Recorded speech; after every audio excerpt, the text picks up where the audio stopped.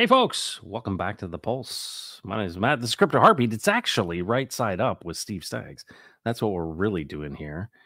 But folks, it's great to have you here. This is episode 31. So now you you finally have achieved and leveled up so that you can watch two hours of Steve Staggs every single day of any month you decide to do, right? So you could choose a month that has 31 days, and every single day you could spend two hours with me and Steve Staggs if you wanted to that would be that sounds like torture in some respects but folks it's great to have you back. There's some great people here but i'm just uh i'm excited because we're going to be talking about artificial intelligence and we're going to talk about real intelligence too in the whole process. Hopefully hopefully we will. Hopefully we'll represent real intelligence but of course the reason he came and the reason i came is because of this guy steve staggs.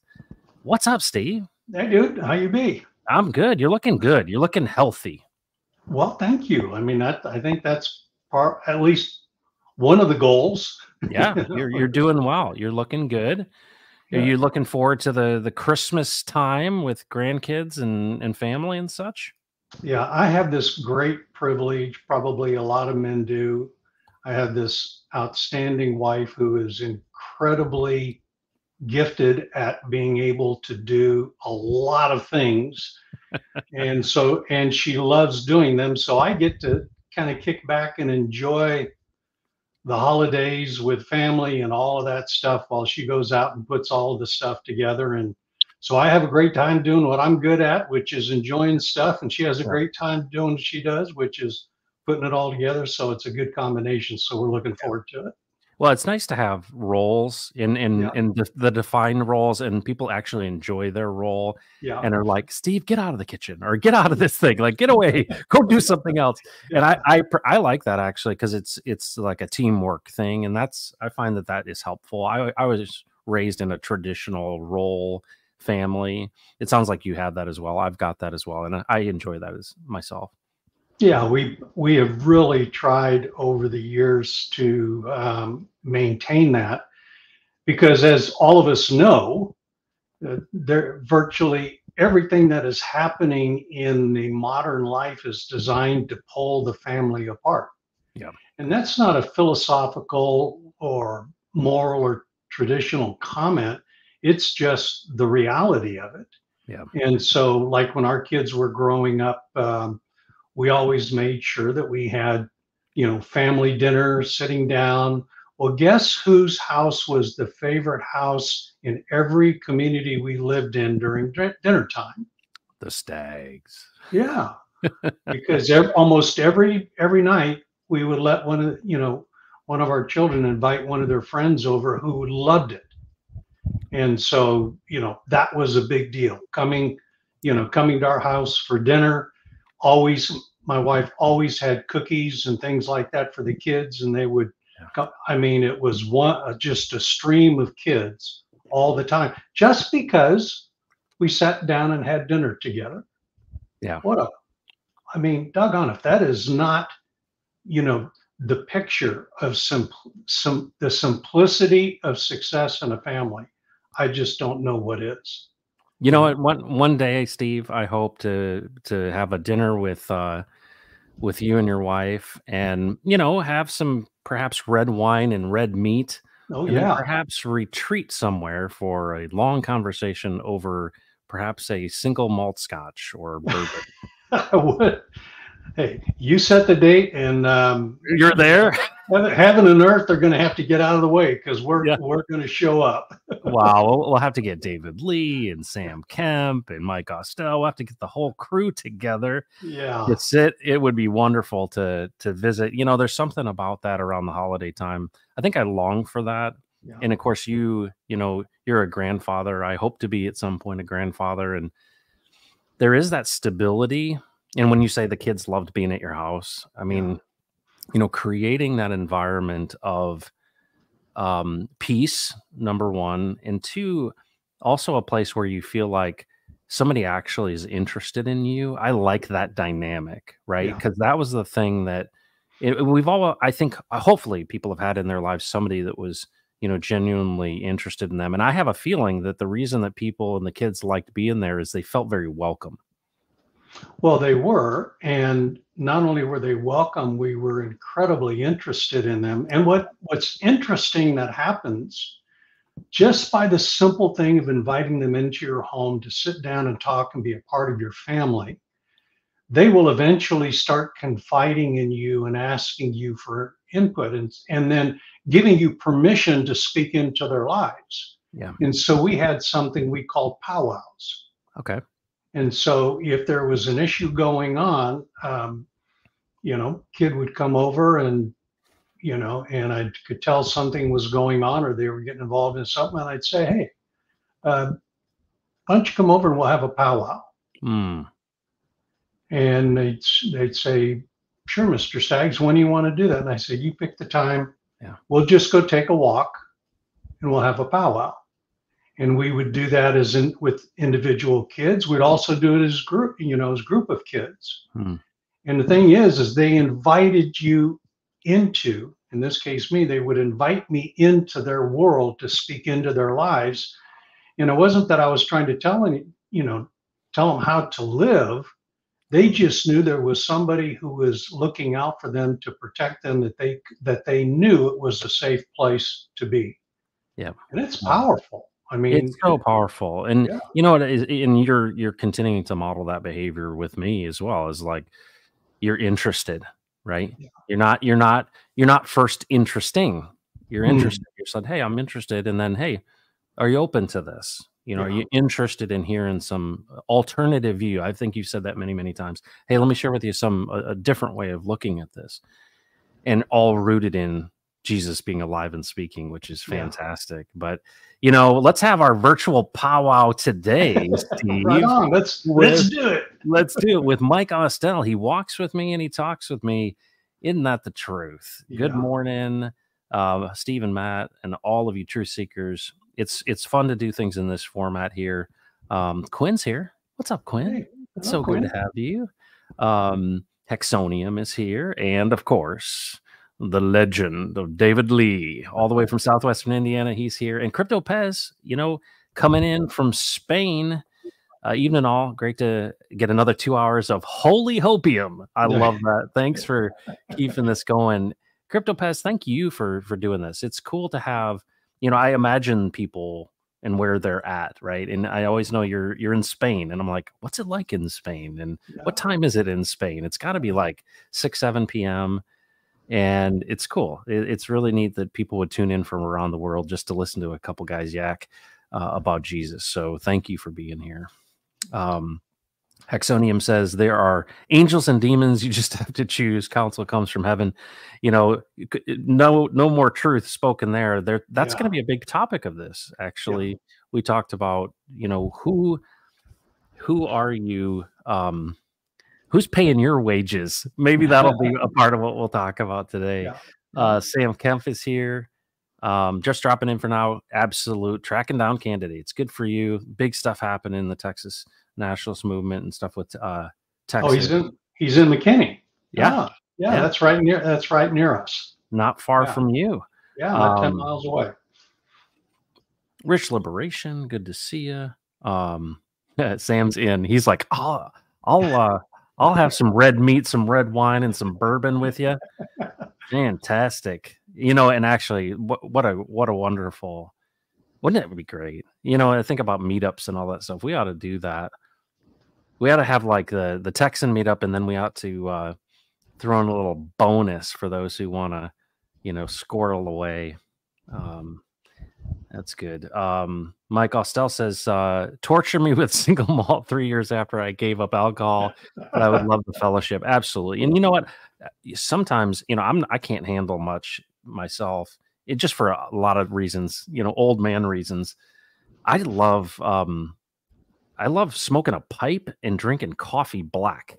Oh, That combination is really, really good. I'm not a cigar guy at all. But I do I do enjoy that. Um Identity Block is here. Dude, thanks so much. It's so great. Identity Block has been like in everything I've been doing here in the last uh like month or so and I just really appreciate that. Um Element Hacks, welcome. Welcome. Hello, Matt and Steve. Hello. Um, well, cool. Well, we're going to talk about AI today, oh, wow. Steve. Yeah. And so I uh, I had an experience that I wanted to throw at you because one of the coolest things that I've learned, and I've got this whole list of things I've learned from Steve, and have been reinforced within 72 hours by Jesus himself. um, but one of the things that I I learned in all this is that the tools are neutral. Yeah. And so before we get into things, you know, AI right now, if we boil it down, how do I use AI and what's happening in the world of AI? Um, it's a tool. Yeah. You know, one of the ways I use it is I'll write a letter or I'll write an email or I'll write something that I want to communicate. And the cool thing about it is I can do that in a text stream, right? So chat GPT, let's say I use. And I'll say, I'll say, help me write this more clearly. And what's interesting is I've done that so much that you can start having this kind of conversation where you're getting um, consistency in the way that it's writing. And when I look at it, I'm like, it didn't change what I wanted to say, but I just know the spelling's correct, the punctuation, and it, you know, it did reword this in a way that's is a, that's a better way of saying it, you know, because I've got a run on sentence here or there. Well, that's very minor comparatively to what is, you know, capable of doing. Um, but I, I met a guy who was really, really into AI and is really knowledgeable about it. And there's a big spectrum here. There's a there's a group of people who are like, you know, this is going to be like Terminator, and AI is going to take over and kill everybody, right? So that's one end of the spectrum. And then there's the other end of the spectrum that says, hey, we're going to have access to uh, this, you know, multi endpoint tool where you can engage with it in a lot of different ways and you could get access to things. And the implications of that are really significant. Um, because if you think about how the human brain works is we take in information and we essentially distill it down. And if you think about, you know, let's imagine you're a doctor and you go to school for 12 some odd years, memorizing all this stuff, doing all these things, having clinical stuff and everything. Next thing you know, you're on your own and somebody comes in, they got a bullet hole in them. Well, mm-hmm that condensing is what your brain has done to say, all right, what do we do to get through this? Yeah. And, you know, they obviously have built these systems to be very similar. But at the end of the day, you know, the approach that you take is essentially this animation. And so I, I wanted to set it up there, but will you talk about that, you know, to I think is a bit of a review is this idea of tools being animated because I think that's going to be the the underlying theme here is that you know ai provided that it's not you know sentient is a tool. Yeah. do you see it that way? Uh, absolutely. I mean it i mean if we think about it from a macro standpoint what is the purpose to a tool? Well um, there's this fundamental concept that that uh, time is the model for capacity you know, to increase capacity, you have to first increase capability. And so the one of the ways of envisioning or thinking about that is if I was given the job to dig a hole and all I had were my hands, well, my hands are, you know, are my tool. They are my device of use of service at that point.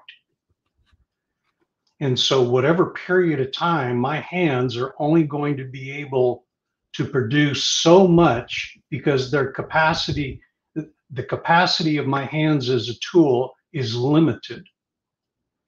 And so I can dig and dig and dig. And so I look down there, my hands are all, you know, beat up and chewed up, and I've only got, you know, a three by three pile of dirt in there and I've been working for 10 hours and I'm going, man, there's got to be a better way of doing this. Yeah.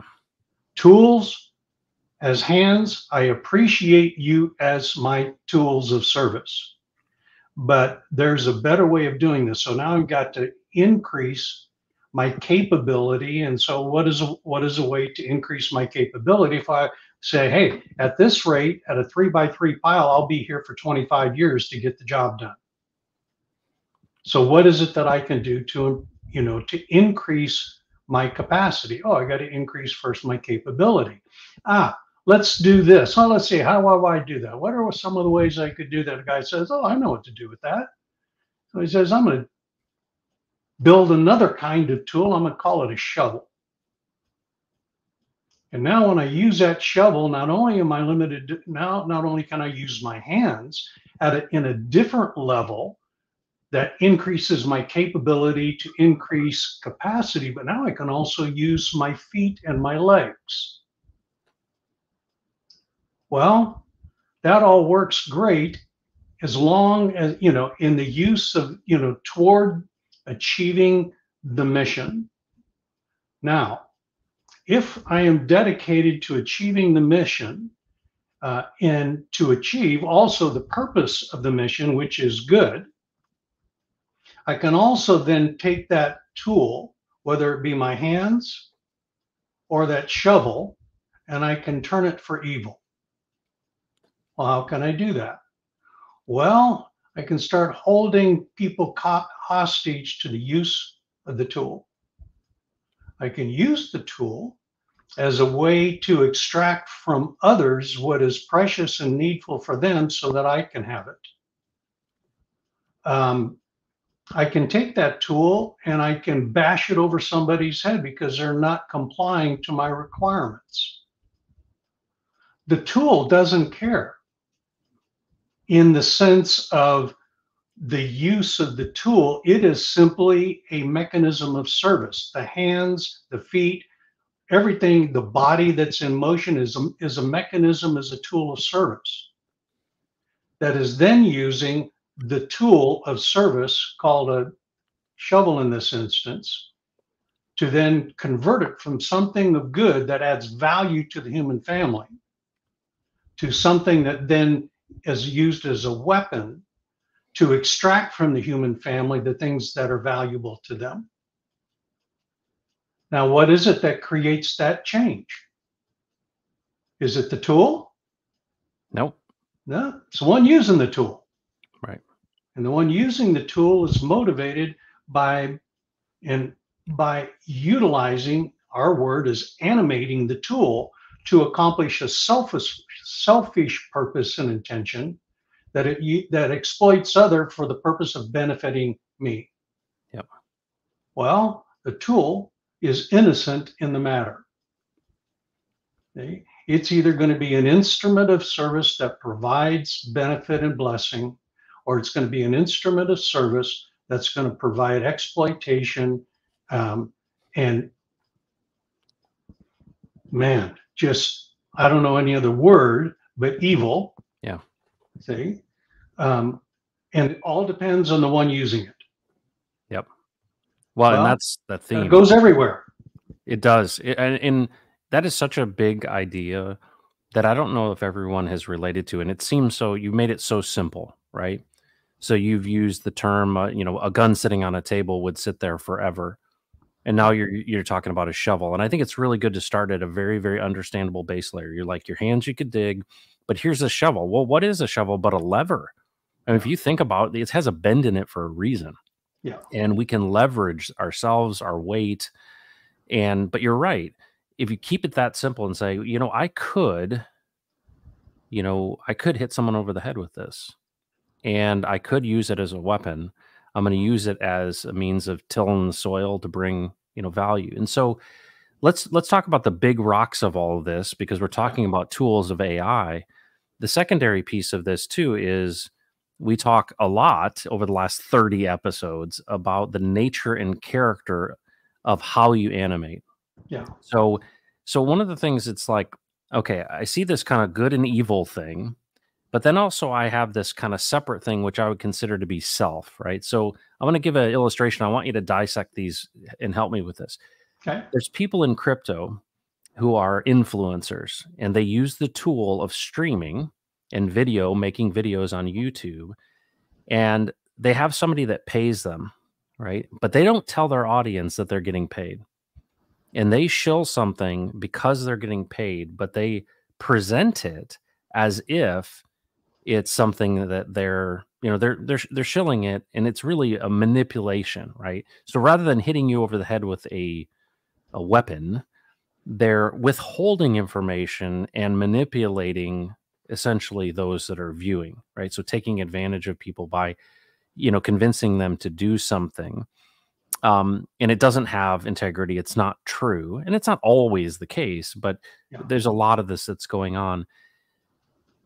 You know, it's easy for me to see, Steve, like shooting the gun at someone, right? And and you know, or or digging a hole, or you know, or and using a, a, a shovel as a weapon. I get that difference, right? Yeah. But there's a lot of kind of gray area in the middle too, which is you know, I'm not actually you know killing you with this, but I am not. My intent is not pure. Yeah. Um. So, if, for example, there's kind of let's say on this extreme end there's the those who have aligned themselves with evil forces literally right? Literally like sold their soul to the devil and are uh, accomplishing and doing his will and listening to him. And then you got the opposite end of the spectrum of people listening to jesus and saying hey i want to animate this tool in your nature and character. And then there's kind of this person that's in the middle who is self yeah. I, I, feel like they're just like, hey, I'm just trying to make it here. I'm not real considerate of other people, and I'll do whatever I can do. And it's not like this conscious thing, like the devil made me do it. It's more of like, no, this is the way things do. I got to get mine. Yeah. Help me dissect the distance between those and how to see those. And maybe they're not three things, but they seem like there's a gradient. So go. Welcome to our telephone conversations, uh, folks. Oh, Steve. Dance, monkey. Yeah, right. Um, well, in the in the uh, in the caricature of the of the rocks, okay, let's keep it at yeah. a rock level. Okay. Yeah. Um,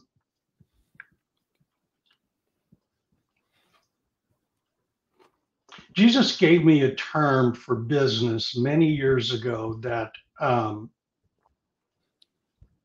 in four words captures it all. Okay. And those four words are truth in the transaction. Now think about that for a second. Truth in the transaction. Okay.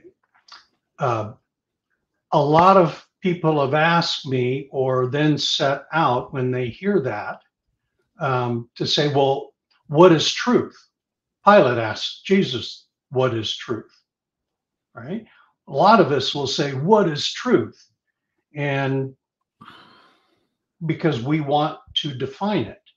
And what I have said to them, and our friend Carter, you know, really worked, this worked him over for some period of time, you know, and it was, well, I don't have to define truth. Everybody already knows what it is by virtue of what it isn't. So you have mentioned a lot of time on your streams, for example, you have a very high sensitivity when somebody is trying to play you. Yep. Well, do you have to define what it is to be played?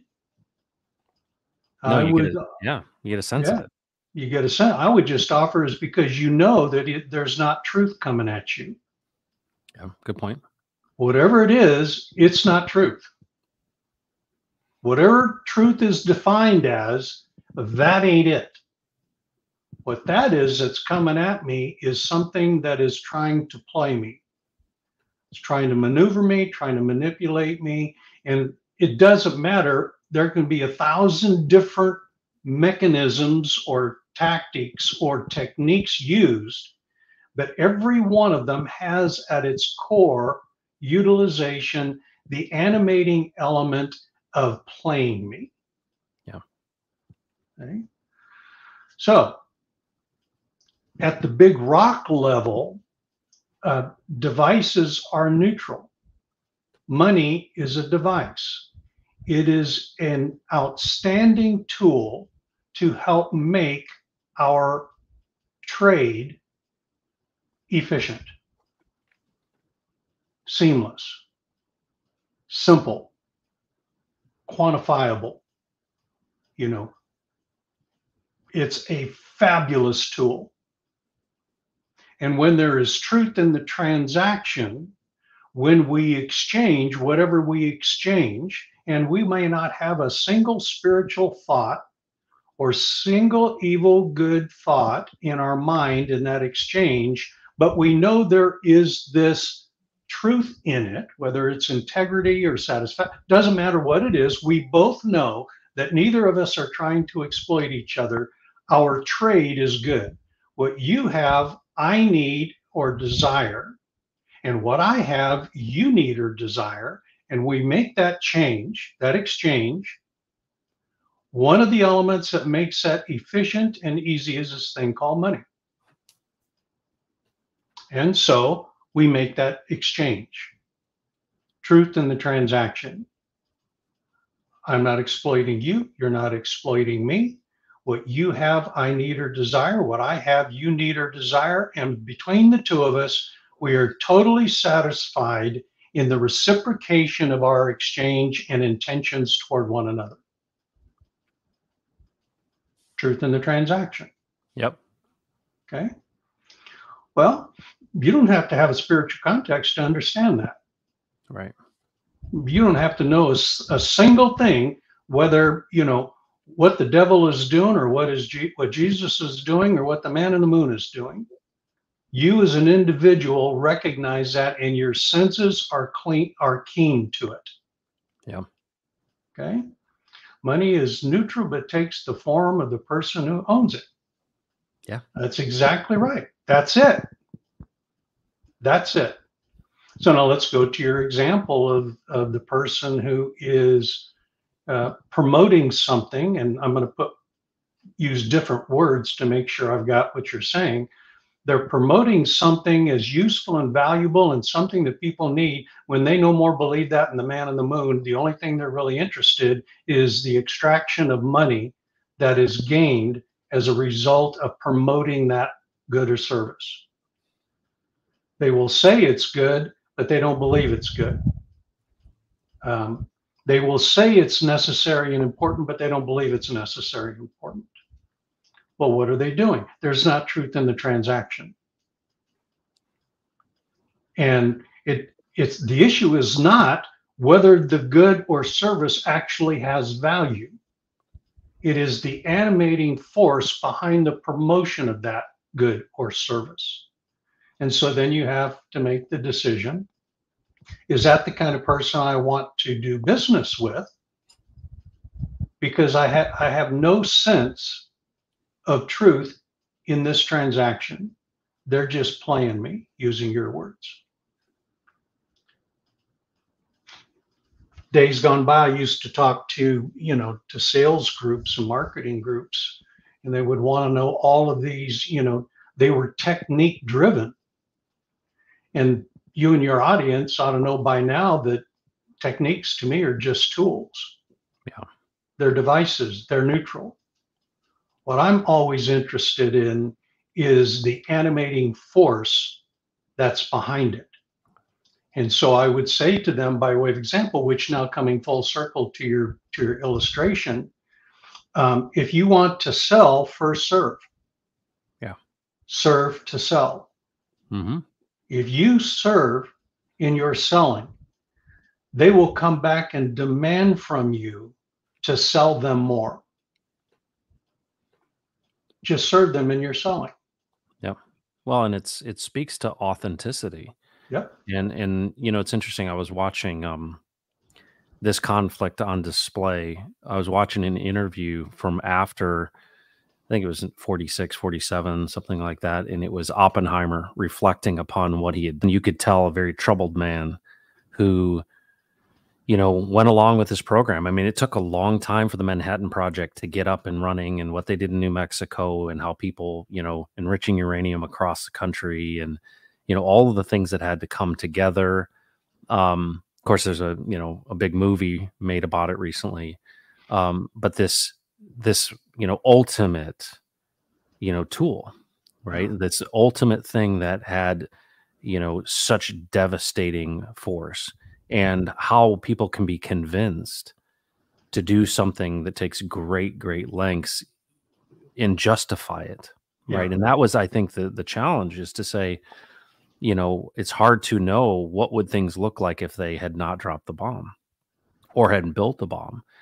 And it's really i think it's really fascinating because in some respects you could look at ai and the way we see it right now it is it's just a tool and there's so many things that correlate to the spiritual side of things when you start thinking about the potential implications of ai Yeah.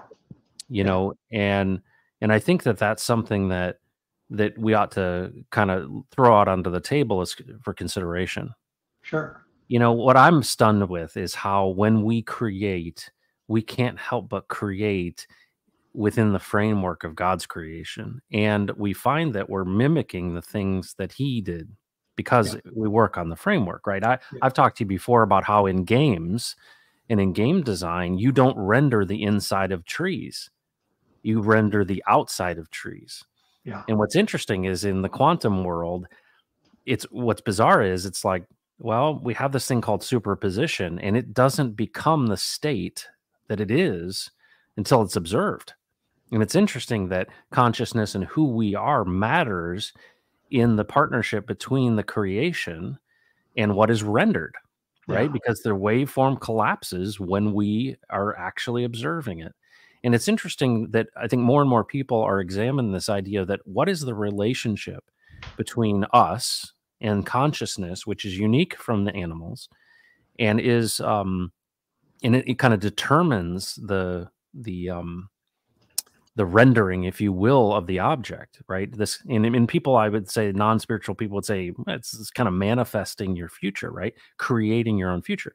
But then if you look at AI, it's funny to me that you know we have these stories before the flood of the tower of babel and we see this you know we see this um you know becoming gods and then here we are once again essentially getting to the point where we've got this transhumanist group of people who are really into ai thinking okay we can live forever. We can overcome death. And you know the fear of that and that we're going to become gods ourselves. And really i think the the challenge between kind of general intelligence and super intelligence is the sentient this idea that well it's going to become its own thing. It's going to or at least give the illusion of its own thing Uh, meaning that it's it's actually aware and what i'm eh, what i'm fascinated by is I, I read the book from the 1930s called Think and Grow Rich by Napoleon Hill. And it's one of the first kind of self help books of that era.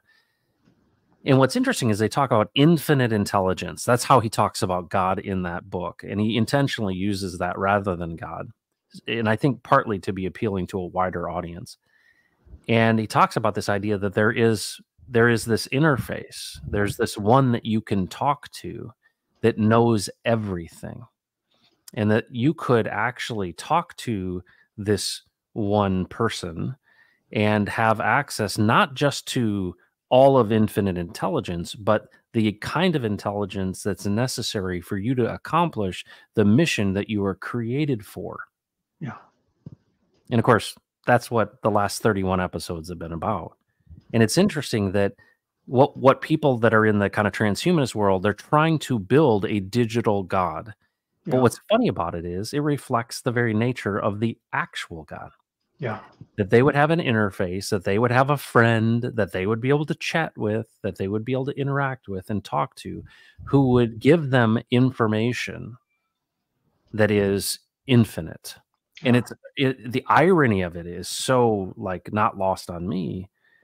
But to think that what, what's your take on that? That here we just can't help it. No matter who you are, you can't get away from the fact that you're trying to recreate what already exists.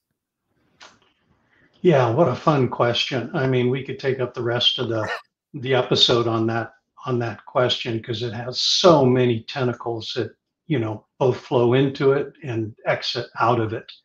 Um, okay, let's just take the concept of you know transhumanism, living, you know, for forever, et cetera, et cetera. Um,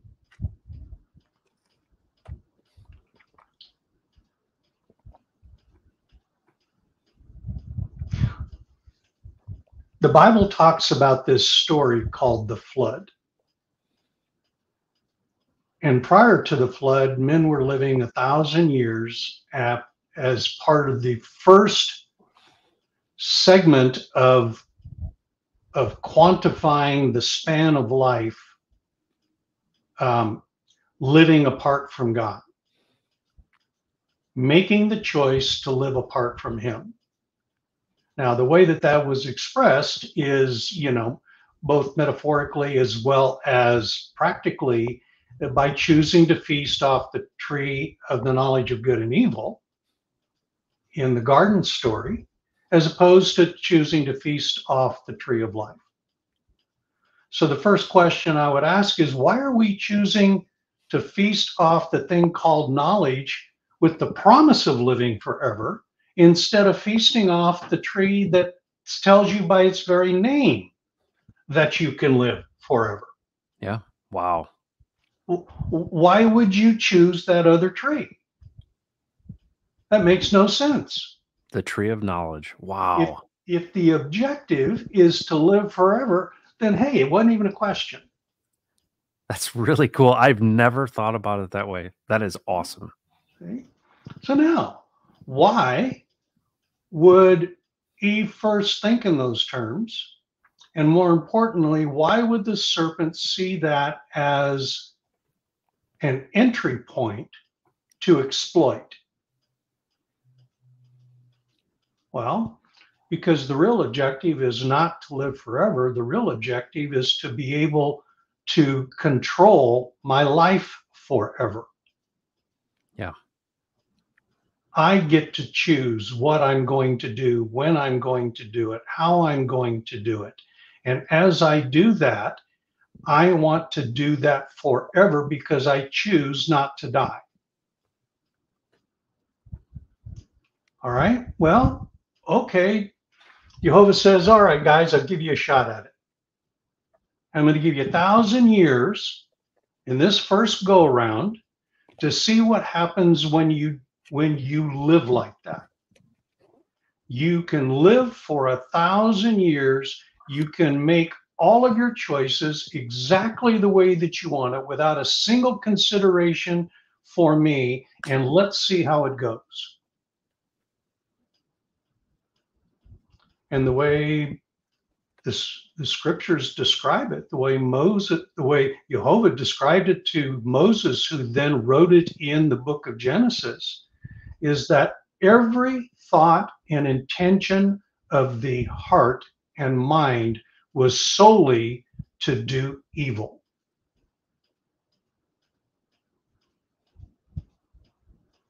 Whoa. And if you actually go into the definitions of the words rather than the translation, the translation portrays Jehovah as being pissed off at the whole thing. And so pissed off, he regretted even making man. That's how the translators render those words and it's 100% wrong. It is portraying a picture that did not exist and has nothing to do with the nature and character of God. God looked at them and felt sorry, felt compassion. Um, what we would feel when we look at somebody in a deep sense of suffering. And so he said, okay, this is what I'm going to do. The outcome of this is that, yeah, you're getting a chance to do everything you want the way you want it without any barriers placed on you in which you don't know as you're being exploited in measures you cannot comprehend and the effect of it, even though you were eating, drinking, marrying, and giving in marriage. Even though you were doing these things that satisfy the body and eating and drinking, and satisfy the soul in marrying and giving marriage and in, engaging in all of those things that would otherwise be considered a blessing, in not one of those things are you considering God in any of that. It's not that they were heinous. It wasn't that they were overtly wicked. It just that it had nothing of the life of God in it. They were not feasting on the tree of life. They were feasting on the tree of knowledge. And God said, What I'm going to do is I'm going to protect my man. I'm going to send a flood. I'm going to stop all of this. And before he ever did that, he said, I'm going to limit the life of my man to 120 years. Now, the way that we would describe that in, you know, in our common vernacular is I'm going to I'm going to deliver my children from their misery. And we're going to kind of start this thing over again. And you see that in the description of how Jehovah describes Noah, who did all that Jehovah commanded. Now think about that. If you define evil, this is the way Jesus defined it to me, evil is, is any thought, intention, or action that is apart from God. That's evil. It can look like the greatest thing in the world. So while it looks good, it doesn't have good because it doesn't it is absent of the of the presence of God's life in it. That's why it's evil. It's not that it's heinous or malicious or wicked, it's just that it doesn't have any life in it. It's born out of knowledge, out of the mind and heart of the individual. And so, because the individual is limited, subject to death, all it can do is produce limitation and, and death. Well, God doesn't look at that as good. God, God looks at that as evil and says, hey, man, I got a better way for you. And so he says about Noah, in contrast to every other one where there was not one single thought that was not saturated and conceived in evil, by contrast, he describes Noah as doing all that Jehovah had commanded. Wow, what a contrast. What a contrast. And the one who did all that God commanded was doing stuff he had no experience in, had never observed, had no engineering training, there's no record of him being a carpenter. There's no record of him having any tools of any sophistication to be able to do anything. And yet, what was 120 years and he built an ark that we marvel at today with all of our capabilities because he did all that Jehovah commanded. Well, well, Matt, that that to me is okay. Now let's weave that all the way back to the AI transhumanists and stuff like that. Well, yeah. okay, have at it, boys. So if you live a thousand years and and what increases in you is what is already there, which is perverse to its core, in a thousand years, how what's that perversion going to look like in you? I want no part of that. Mm. God, give me my 120 years and let's call it good. Yeah. Wow. There's so much that, in that. So there, that's the big rock. Um, yeah. You know, it's, so that's how I look at the whole transhumanism and using this stuff to live forever. You yeah. know, it's not about living forever. It's it's about being able to have the absolute liberty to make whatever decisions, do whatever you do without consequence forever. Yeah. Yeah. And all you're going to end up doing is producing misery for you and everybody around you, even though you're eating, drinking, and marrying, giving in marriage. Yeah. Yeah. It's an illusion. You know what's amazing? Steve, this is so good. This is so good. You know what I love about it? So I'm gonna I'm gonna bring so let's go to let's go to this moment where where the commandment of God to Noah. Okay. Yeah. So let's just imagine it's us, right? So yeah. everybody who's listening to this, it's us and we're there. So what you're saying, Steve, is that at that time when all this craziness was happening, that Noah was listening to Jehovah. Yep. And what's fascinating about this is, you know, you said so many times, it's so simple. Yeah. Like the more and more you look at it, it's like, wow, it's simple, and you can continue to probe this. What I think is so amazing about this journey with you and in all of this is that it constantly comes back to the lowest common denominator and it's like the story after story after story is one who is walking with God who says, All right, I'm going to take your word for it that you got something for me to do. Yeah. I'm just going to make that assumption that I'm not here by accident. And so rather than going and feasting off this tree of knowledge, I'm going to feast off this tree of life, which is what is life while I'm here, but you. Yeah. And it sounds like you know exactly why you made me and and why you put me here and what to accomplish. So you know, it's interesting that that Jesus would knock on your door and say, "Hey, you interested?" And I love the way that you present it, right? "Hey, are you interested?" Well, yeah, you, you know, what we're saying is there's a hell of a benefit to this thing if you actually like are interested. It's like, "Hey, you know, this is the way right? The way, the truth, the life. Okay. Yeah. Okay. So so this is one of the big challenges of all this. And I it's it's so binary in some respects because you're you're like, hold on. Does this God, does this Jesus character, does this guy actually speak? Well, it, whenever I'm looking at scriptures, it seems like that's the story. Yeah. The story is a God who interacts with his people and gives them purpose, direction, commandments, all of these things so that things would go well for them.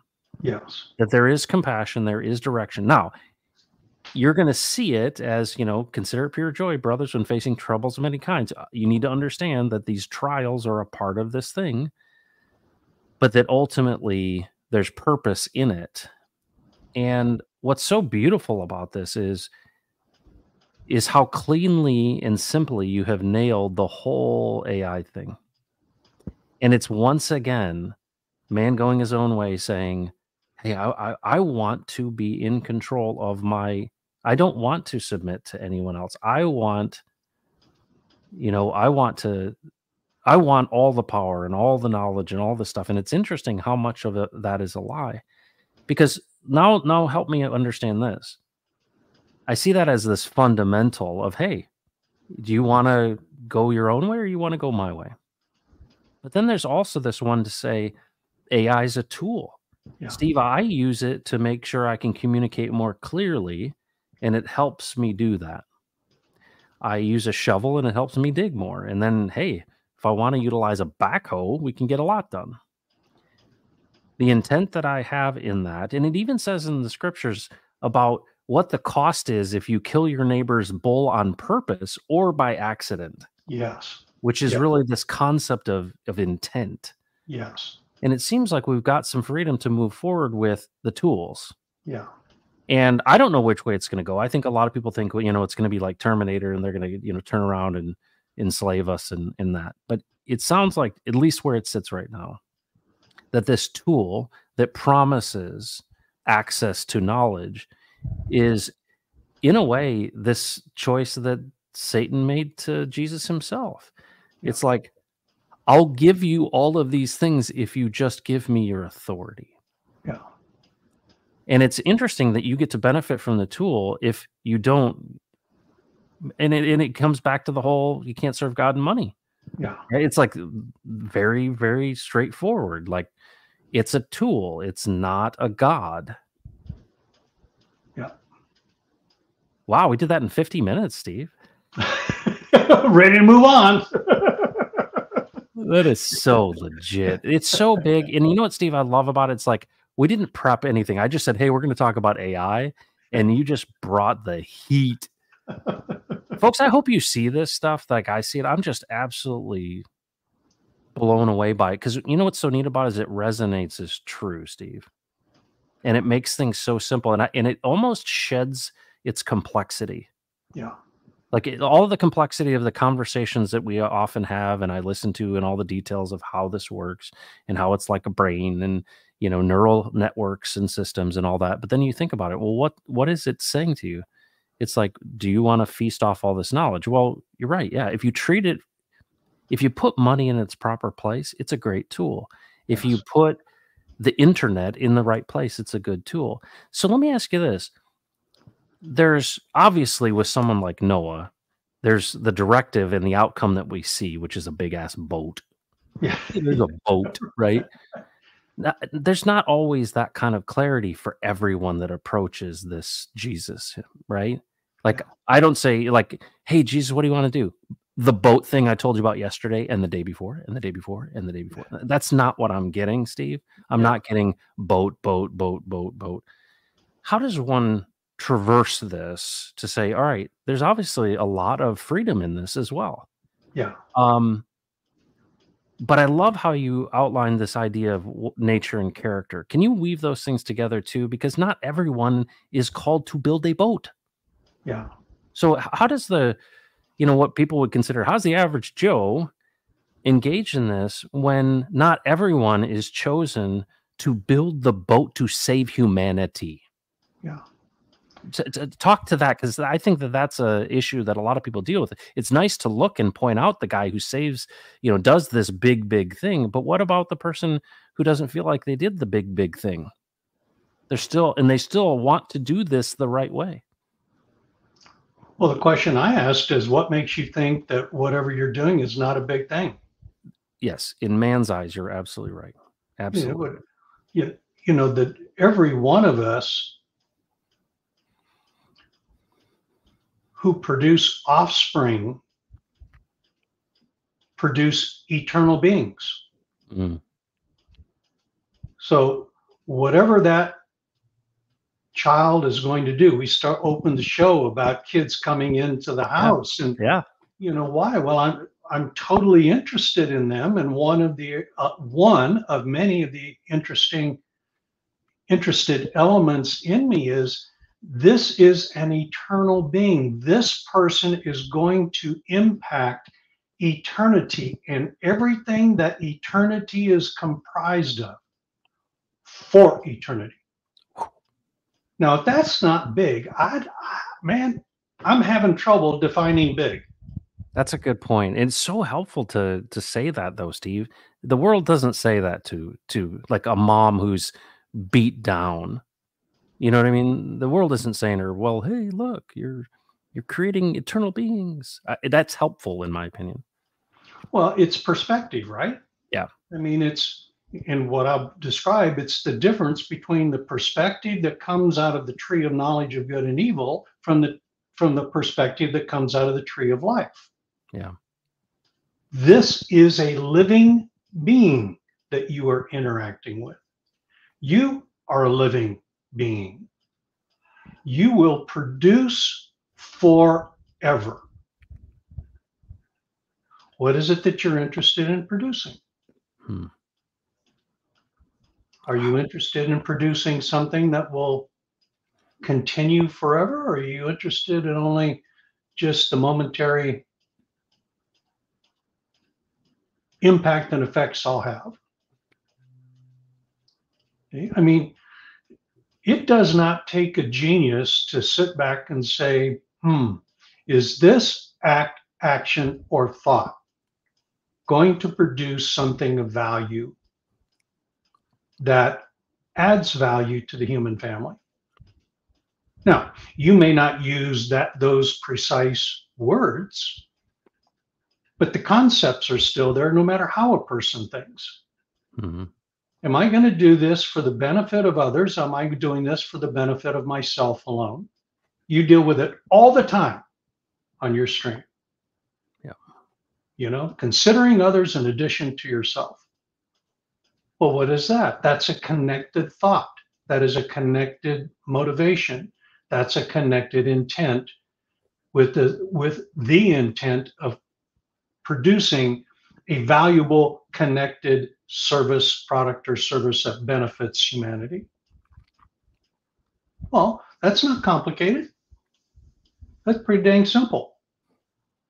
And so the first part of my my answer to you is there's not a person listening to this or exists on the planet that is not producing a boat, Hmm. whether they understand it or not. Mhm. so good, Steve. Just so keep good. taking the steps. Yeah. Well. Wow. Wow. And and so what you're doing is you're looking through the lens of life that says, man, this thing isn't stopping at the end of the at the end of this little road here. The end of that road is just the beginning of the next road, Yeah. which is Yeah. the beginning of the next road, which is the beginning of the next. Okay? That's why Jesus says, by the way, follow me. Yeah. Just follow me, man. I'm just follow me. See what it's like. You'll, Well, and- you'll, you'll dig it. Trust me. And you know what's so cool? And I'm I'm gonna go onto a rabbit trail here because I'm just overwhelmed with how awesome this is.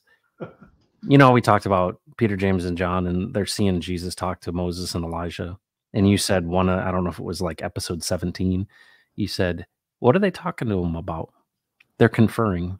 Like, you know, imagine you're standing off, and here's the transfigured Jesus, right? And like he's talking to Moses and Elijah, and you're like, and he, I think you said they're not dead. Yeah. And now think about this for a second. I, I- you know, and I think about my dad passing, and I think about this idea of, you know, you just said, hey, you're you're you raised children that are eternal. You know, and you think about this kind of waypoint that this life is, right? It went from a thousand years pre-flood, and and maybe even before that, much longer. And there's a lot more to this story than we see and know. And then it was by grace shortened. Yes. And, you know, at times I think about, you know, there is a certain discipline here. And one of the things that I feel like you've been really helpful for me to understand is, you know, this idea of nature character and the choices that we make is a form of discipline, right? Yes. Like I, I'm thinking about these things differently now. And I'm like, what is, you know, like I have to have a, you know, there's a lot of things like, for example, if I were to go out on a bender and drink a bunch, I'd feel like crap in the morning, right? Yeah. And I'd be less effective. I also see that if I don't get my keep my blood sugar together, I'm not as effective. If I don't get enough sleep, I'm not as effective. Right? There's a number of things where um and it, it's interesting to think and to hold these thoughts captive to the the very simple and that what's what i love about this framework is that even in the depths of its complexity if you back out from it have the right perspective it's simple. You have this at least these waking moments of choice and you can either choose to do it apart from or with god and what does it mean? You know in some respects do i always carry around you know you know my buddy jesus. Well in some respects his nature and character right he you know created in his image. Yes you do carry him around with you. And it reminds me of you and you know leaving baseball and going yeah let's let's go let's go places together. And but also to to recognize and i feel like this is what this whole series of things has helped me with is to just be thinking about in every moment what is the nature and character right because you know the benefit of considering others in addition to yourself understanding that moses and elijah are alive you know just all of these things together you're you're going okay it gives me way way way more confidence of moving forward if you will Yeah.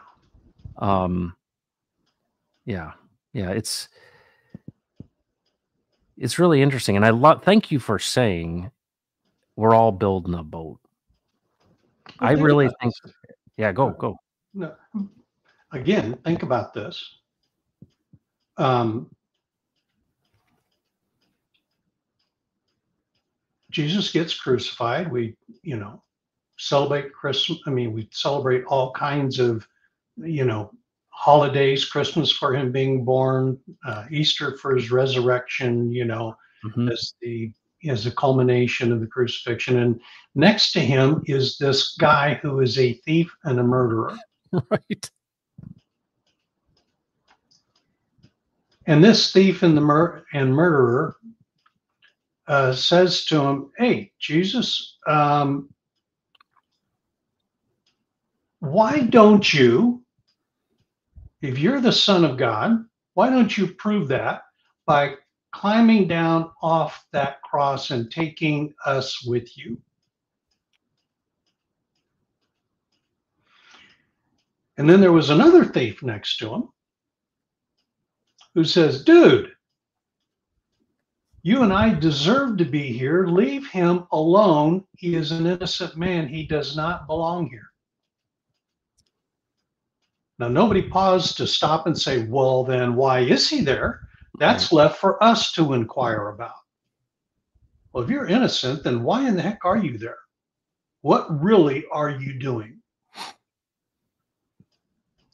And then he says to Jesus, he says, Remember me in paradise. Yeah, yeah. Remember me when you come into your throne. Yeah. When you come into your kingdom, Yeah. how amazing. Yeah. Wow. She says, Hey, cool. We'll do that this afternoon. that sound good to you? Wow. Now, that thief, the culmination of his life was to make that declaration how much bigger of a boat do you want that guy to build? No. Hmm. He just portrayed to everyone who observed that scene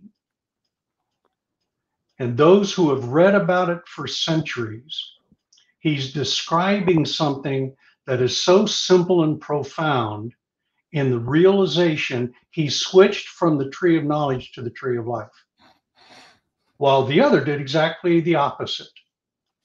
And both are portraying that have for thousand now two thousand years. How much bigger of a boat do you want? Yeah. I think about every time I go to a funeral, I think about that. That's like the one thing that's always in the front of my mind is today you'll be with me in paradise. Yeah, And you think about that, you know, all the things that we argue about and the church wrestles with. And here's this one who, you know, stands condemned and this, hey, remember me. And of course, there's so much wrapped up in this idea of speaking and looking Jesus and just saying, remember me in your kingdom. yeah, it- you know, it, it says so much about how his heart is and what he what he understands Jesus to be. And it's how cool that it, you know, you can bring that what you're saying to this binary thing between the knowledge of good and evil and the and the tree of life. And it's interesting. Yeah. And once again, simple, simplicity. Well, you know, Jesus said one of the things that Jesus said to uh, to folks when you know that's recorded in the Gospels is that unless you are willing, uh, he said it like this: you cannot enter into the kingdom unless you enter as a child. Well, one of the difficulties that we have in this that is a direct confrontation to the promise of knowledge Yeah. when I'm an Yeah. adult, I do not want to think like a child anymore. I've spent an entire lifetime ridding myself of that. hmm Now, that may not be the way that you describe it, but the effect of that is that the poison of knowledge says injects into the whole process. No, I want to understand the kingdom as an adult in the kingdom now. And Jesus says, Well, that's not how it works.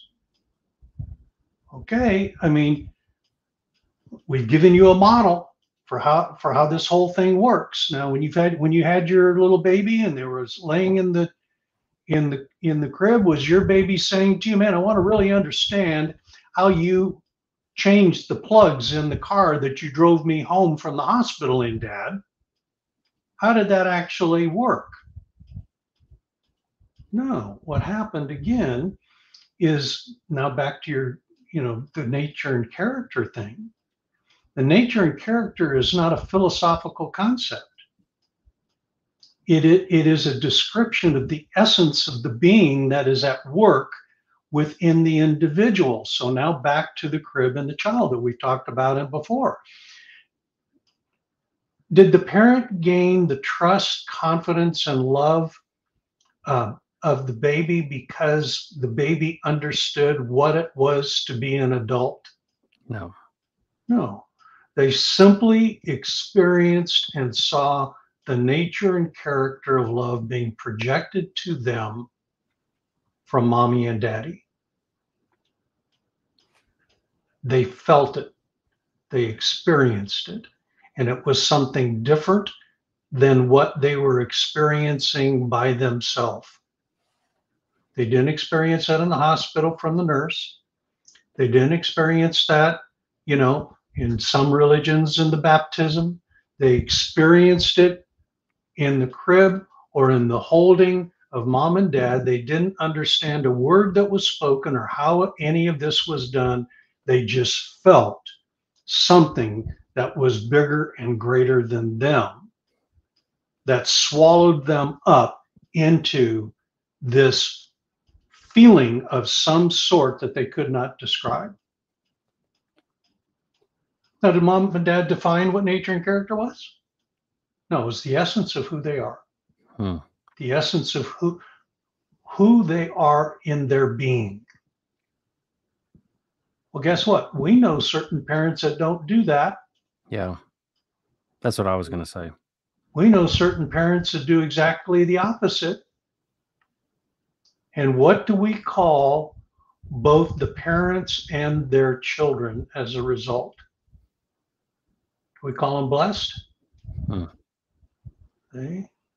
No, we weep over them. We would have a, ten, a tendency to condemn the parents that are that we would actually call them abusive. Yeah. And then we look at the children who are the products of that abuse, and guess what they reflect? The nature and character of their abusers. And they are troubled the entire time of their life until guess what? They make a change. At some point, they will have the opportunity to change, to make a different decision. And then Jesus begins to build in them. If they choose him, they begin to he begins to build in them his nature and character. See, it's a building process. You know, delight in the Lord, and He will give you the desires of your heart. Yeah. I totally misunderstood that for so long, thinking it's what I would want, but it's really actually a redefinition of what He wants through me. Yeah. and it's it's so powerful you know i i think what's so neat we talked about kind of infinite resolution and and the fact that the framework you know almost represents itself and here you are talking about the baby again right i mean the science folks would say yeah if the child doesn't have this the eyes of the mother or father doesn't have this the brain does not develop correctly. Yeah. you know and you you think about what is connecting through all those things. And then to think of the metaphor you know because what i've been kind of thinking about recently is this idea of how great and and how expansive god is right? I just look at his creation of the the heavens declare and i'm like wow but to think that in all of this that there would be such lengths gone to to utilize these these metaphors right of a father and a son Yeah. to use these you know this metaphor of nature not metaphor but the, the nature and character that is expressed across creation and i think what's so cool about you know what we're doing here with the crypto stuff and everything is to look at it and say you know we know that something is wrong because when i do look out you know and i'm in the middle of a stream with a fly rod i'm seeing the nature and character in his creation right? It declares itself. Yeah. and then you know and then seeing those moments and what do we long for? I mean i long to daisy chain as many of those good nature and character things together as i can right? Yeah. i want to sit with you by a fire and with david lee and sam kemp and identity block right? And i want to sit there and i want to i want to i want to bask in the goodness of his nature and character that is expressed through you Mhm. right? And or through david lee coming to my dad's funeral. Yeah. and i think about these things you know what decisions are we making and how does that contribute? And you know you said to me episodes back you said when jesus was here was the kingdom near and I just love it, right? And you think about that, you know, and I know this is a bit of a rabbit trail, but it's this, it's part and parcel of the same thing. We create, and are all of us, you know, Da Vinci? No. You know, we create. Are we all Mozart? No. But what's interesting is it's all in its perfect form a version of the truth. It is a it's a picture of a truth, you know. And I think about uh, Ray and his daughter, who's a, a ballerina, right? So she's you know in boarding school, focused completely on being the best ballet dancer she can be. Oh, cool. And there's this moment, and we've all seen it. We've seen it in art, we've seen it in music, we've seen it in dance, we've seen it where someone with preparation meets this opportunity moment and it takes our breath away. And we see in that moment truth. We see in it authenticity. We see in it perfection. And we get a picture or a snapshot of God Himself. Like, I feel like that's essentially this. And, you know, here we are in such, you know, times of turmoil and crisis. And when I think about what's the purpose of us building our own boats, is this idea that my kingdom come on earth as it is in heaven. Like this idea that we play a role. And it what's interesting is like this this holiday season, right? This Christmas, I could contribute to and express the nature and character of God in my home. Or I could choose something else. Yes. Yes. And it seems like, you know, that's where it's almost like the the story about how the guy was forgiven his debt and then he went beat the guy that owed him money. Is that that seems to be the amazing grace that people sing about? This idea that I no longer desire to beat the one who owns owes me Yeah. because I recognize how much I have been forgiven. Yes. That this is like it, it's like it all is shed. And you know, that's I, I guess that's the piece that transcends all understanding, right? That that's kind of where it, it it meets. What a beautiful thing, Steve. And it's like, what is he what is the benefit? I mean, it's rest, right? It's like it's wholeness, it's oneness. And I and I often think about what is heaven like, Steve? yeah. And it's like this idea, well, it's not that I'm not gonna get sick and you know, but there are some leaves I could probably eat that are gonna help me out. But this idea of being this wholeness or oneness and we see that picture so many times of you know bride and groom and male and female and, and oneness of wholeness and completeness. And it's interesting that for this 120 years that we have now that he would allow us to walk through this assemblage of knowledge. And it's it, it, it does feel like training it feels like training for what are you going to choose? What are you going to choose? And now I look at the transhumanists, I look at the the World Economic Forum, I look at those that are being the ones that want to extract, right? The ones that are wanting to enslave. And it's like, well, no wonder the playbook is to separate the family, to get you to be confused about the things that are obvious, like your gender, these you know essentially removing the things that are the nature and character of god that are within us and basically making you confused about who you are Yeah. and and it's like and when you start seeing it that way you see it almost coming at you from every angle is that ultimately this goal is to subject you and enslave you and it seems like right now we're coming into a time where everything is changing and being exposed and like an opportunity for God's people to say, "Hey, let's choose his way versus my way." And would what would be the net effect of that? That's just mind-blowing, Steve. Well, it's so very simple, isn't it? Because the, you know, again, if if you're paying attention to anything that's going on on the planet, and in today's world, we can see the entire operation of the planet through this little mechanism that you and I are talking through right now. It's so true. Okay. Now, you wind back the clock a couple hundred years ago, you couldn't do that. No. 200 years, well, shoot, 100 years ago, Yep. you could not do that. Um, whatever was happening around the world, there had to be a, you know, a pretty concerted effort to bring that information, you know, to the world. Today it's spontaneous. And so, you know, okay, folks, AI. So you're going to use AI, and now you get to be the guy who decides how AI is going to be used.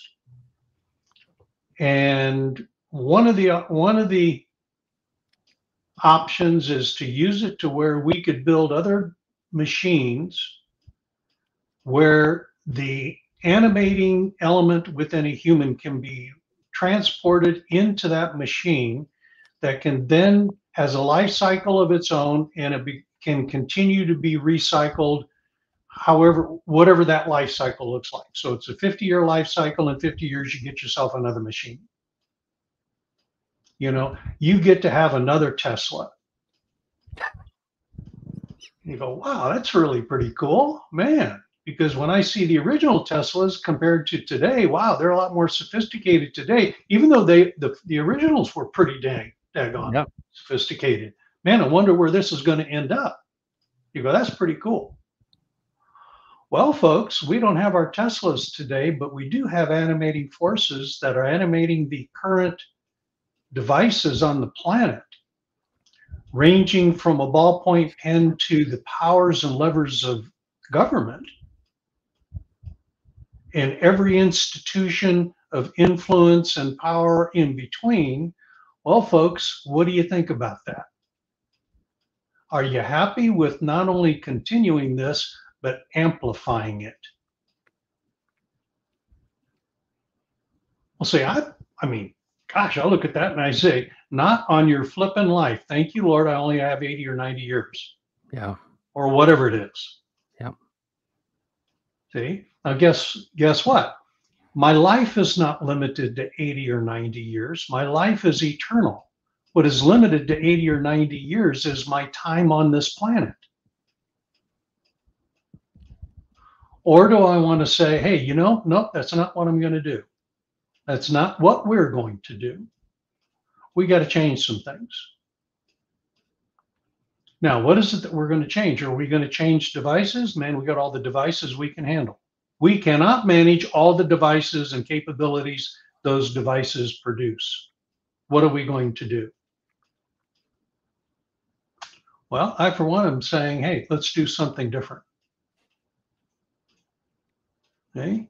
Now, I don't know what to do different on a macro level, but I do know what to do different on a micro level True. in me. Yeah. So, so if I change me, then maybe what I do can can then affect others. And if others decide to make a similar choice, then okay, then they change in everything in their in area of influence and it spreads and it spreads and it spreads. Oh, that kind of sounds like the parable of the of the leaven in the lump three lumps of dough. That's how li- the tree of life functions. How is your life going? Are you happy with what, the way things are ha- are coming together? Is there something different that you would like to have happen in your life? You choose. Yeah. That's not how we're that's not how we're trained. We're trained to look outside and, and criticize all the wrong that's happening out there and what needs to be done to fix everything out there without fixing me first. Man, I ran into that all the time on consulting business. Change what my business is doing, but don't change me. Yeah. Uh, dude, you're the guy that's making that happen Right. You know, I can tweak some devices, I can tweak some processes, I can do some procedural things, but it's all going to end up in the same thing because you're the one that's controlling it all. You are the expression, your business is an expression of you. If you want your business to change, you have to change. Yeah. I think You- about the person who's been married four times It's always someone else's fault, huh? See, right? Yeah. I mean, it goes everywhere. Okay, It what's uh, crypto So- saying? Yeah. So AI in superintelligence mode could be considered the false prophet. Believe people will believe everything it says and will use it like an oracle. This is interesting, and I, I wanted I saw this comment, and I want to I want to talk about it. You know, in the context of the tools, right? Is you know what we're really talking about, which I think you just just mentioned, is what is your purview? What responsibility do you have? Well, first and foremost, it's you, right? That's the point you just made. Yeah. And you think about this if this device exists, right? Well, are there people right now who get caught up in things that aren't super intelligent that actually basically command and direct their lives? Absolutely. There's all kinds of things that we get ourselves into, whether it's addiction, whether it's relationships, there's all kinds of things that we end up submitting ourselves to and we become subject to.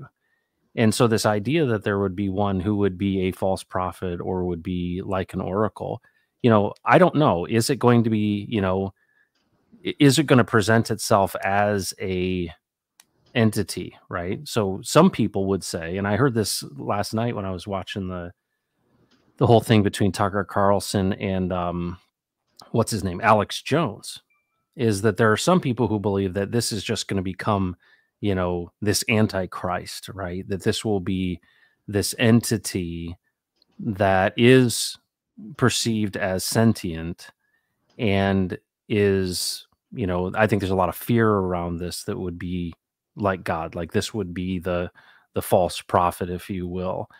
And what i feel like i'm learning from you today is to say in jesus you have control of your own actions of your own self of your own choice now, there are some people who are extreme preppers who will be like, well, get out to the rural areas, dig yourself a home, and start yourself a fire and cook your meal and be away from all of this stuff. Okay, fine. But whether you're doing that, you're still making your own personal decisions. And the question is, are you engaging with this? You know, do I see this tool like Steve or like um David Lee said that people are using this tool right now to auto select targets in drone warfare? Yeah. Yeah. They're animating this tool to pick out moving objects to be able to fire upon. Will they get to the point where it fires on its own and kills people? Well, yeah, probably. The question is is it going to have some sort of spiritual power over you? And I would say the one who is in you is greater than the one who's in the world, and that you will continue to have the choice how do you see it? You know, I think there's a lot of people who are drumming up a lot of fear around the Antichrist and the, you know, taking over of AI as being this boogeyman. But what I hear from you is to say, well, these are tools and you have choice. Yeah. Enslavement is is possible, but how do you see it? Well, being enslaved is only is only a threat if you know you're enslaved. If you think that you're free while you're a slave, guess what? That's the best possible state for you to be in, insofar as your enslaver is concerned. That's the Matrix movie right there. Well, there you go. There you- it- these things are basic and fundamental. So let's let's kind of take a little bit of a crack at uh, at this. Um, okay, how does AI come? I'm going to ask quite rhetorical questions. I'm going to answer them, you know, for sake, you know, for brevity's sake here. Um, how did AI come about? Did it create itself? Nope. A human created it. Okay. When a human created it, how did the human come up come up with the idea to create it? And how did the human then possess the ability to create it once it came in contact with the idea? Okay, now we're going to put that up, we're going to leave that open ended for a minute, put that off to the side. So we have this device called AI. Can that, and now we've created this incredible capability of this device.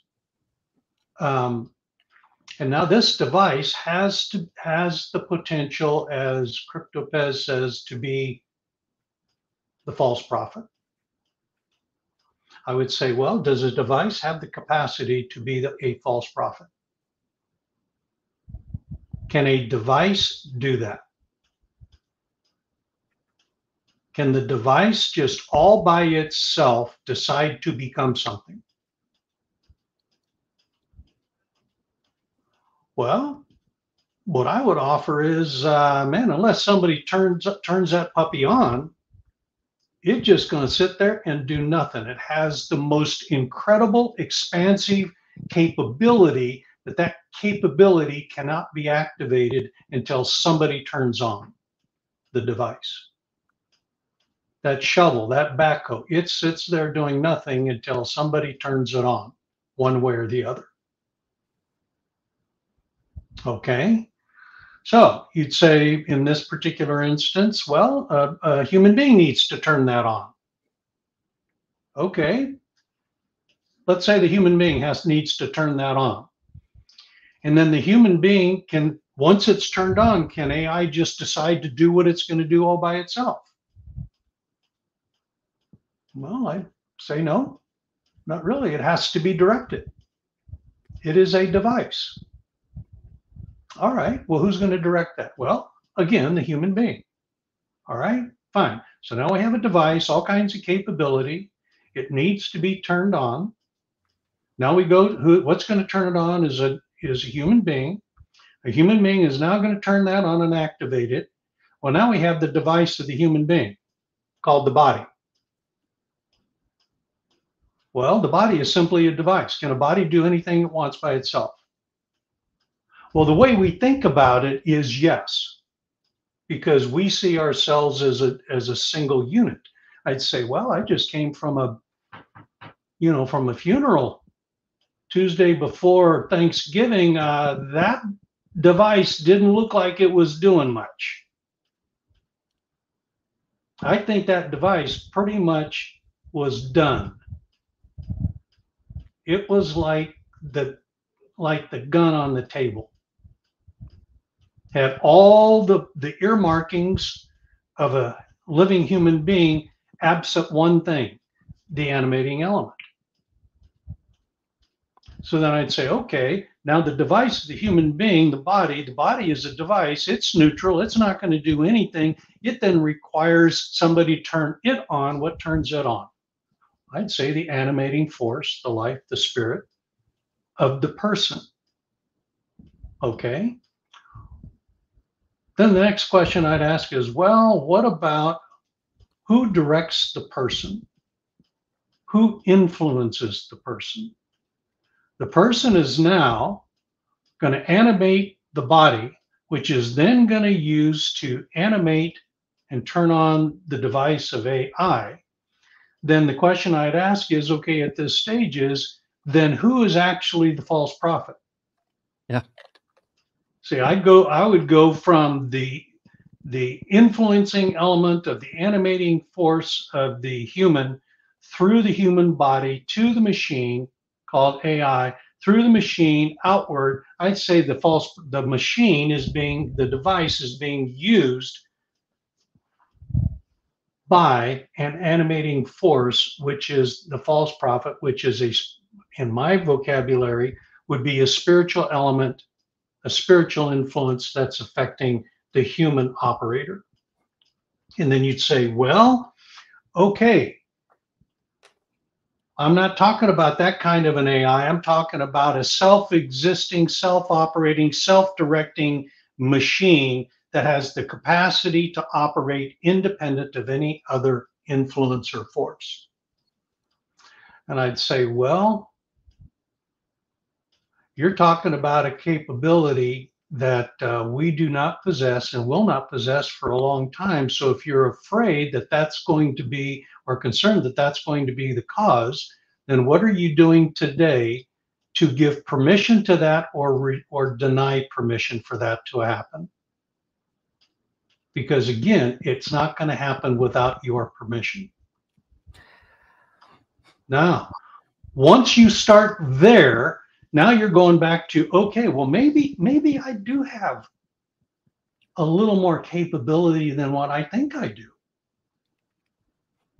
I'm not concerned with the device being false prophet. The device doesn't have that capability. And we do not have the capacity to produce life, which is a self animating element. And if we ever do get to that place, well, then that's a then that's a world we know nothing about other than conceptually right now. And so what are we going to do to deal with that? It all happens by permission is the point. So the device cannot be the false prophet without us giving us giving it the permission to be that. Yeah.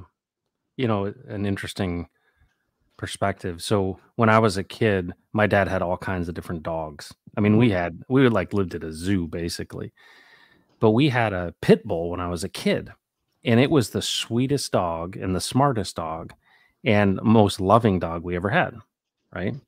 Well, everybody that ever knew that we had a pit bull thought that, that we had this ferocious thing that was going to devour the children, right? And they were not eh, very smart dogs. They were protective, but wonderful dogs. Yeah. But then also, I have met folks who have them who have trained them and they will literally tear you apart. And I think about training, right? Right now, we talk about AI in the context of training. You have to give it information, you yeah. have to train it, right? Now, what everyone's fearful of, and this might actually be one of the techniques of the the forces of darkness themselves is the fear that goes into thinking that sentience is is possible. Because the perception of sentience of of consciousness and actual consciousness may actually be an illusion. Meaning that you know you think about when legion you know jesus is like they recognize him and say send us into the pigs. They need a host.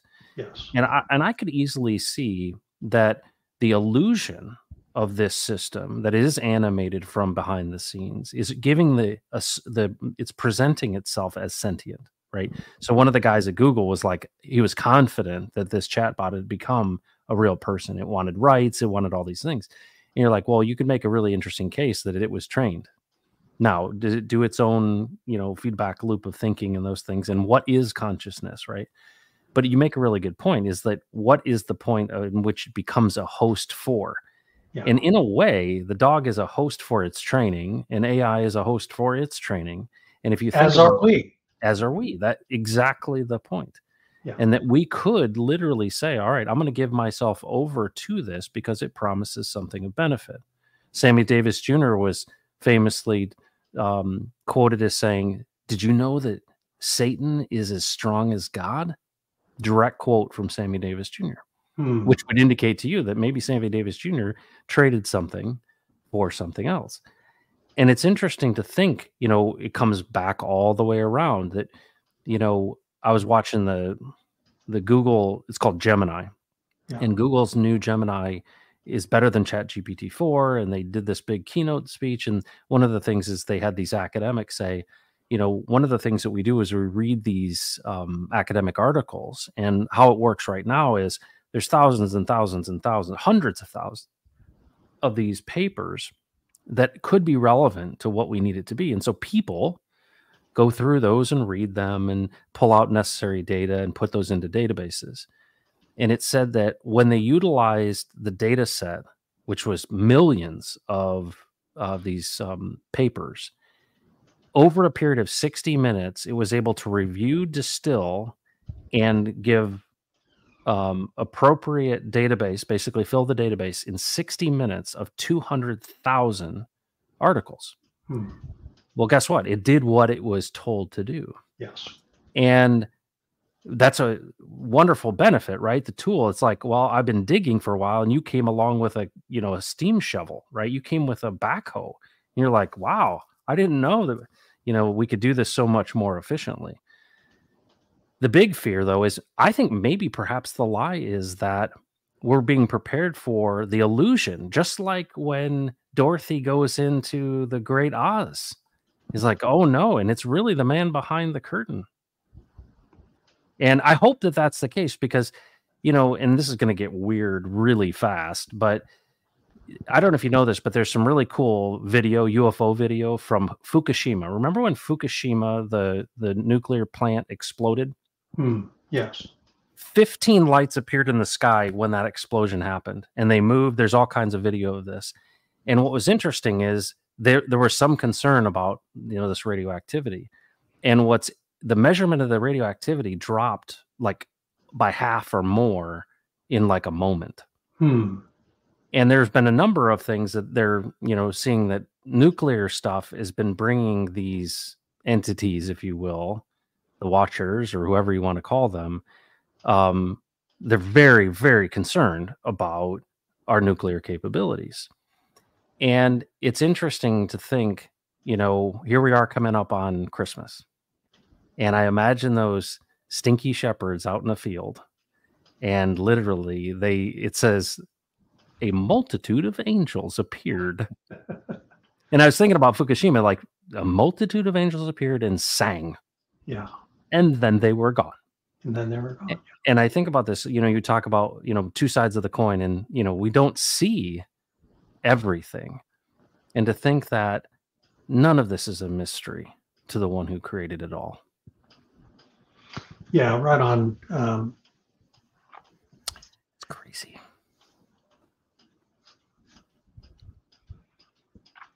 one of the things that I